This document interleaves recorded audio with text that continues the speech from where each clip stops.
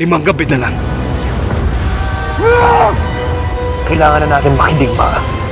Bagani ngayong lunes na pagkatapos ng ang probinsyano.